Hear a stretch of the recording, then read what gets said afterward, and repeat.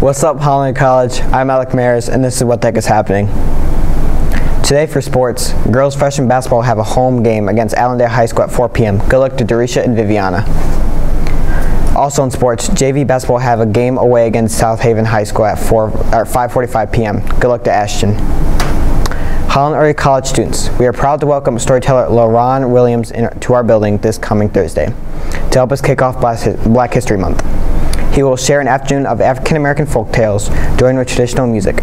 Wednesday will be a normal schedule this week, no advisory. We will have a shortened schedule on Thursday afternoon to accommodate Mr. Williams' presentation. Snow Coming is this Saturday and tickets are now available in office for $10, but only at lunch. And this year, the formal dance is at Baker Lofts on February 3rd from 8 to 11 p.m.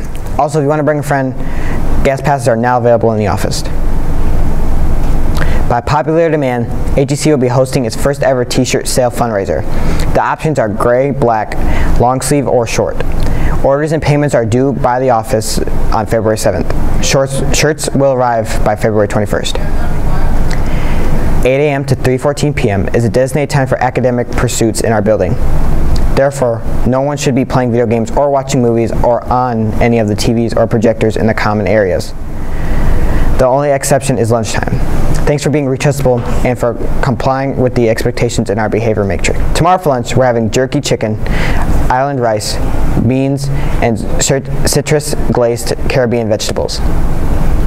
And now it's my angel with the weather. Tonight's low is 24 degrees, and tomorrow's high is 42 degrees. The sun will be out, but it's still cold, so bundle up Holland College. I'm Angel, and that's the weather. Thanks, Holland College, and that's what heck is happening.